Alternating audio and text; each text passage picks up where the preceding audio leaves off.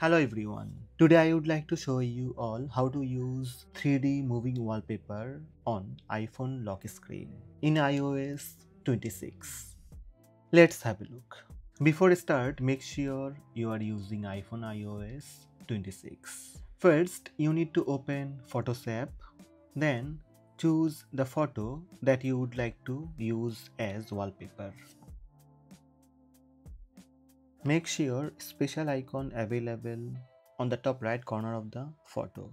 You can tap on the Spatial Scene icon to view the image on Photos app and you will see 3D effect on photo.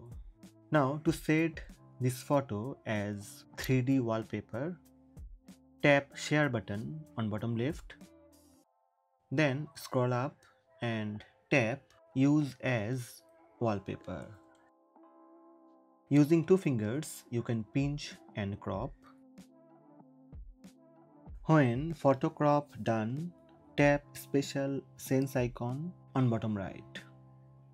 Immediately it will creating Spatial Scene and you will see 3D effect on your wallpaper.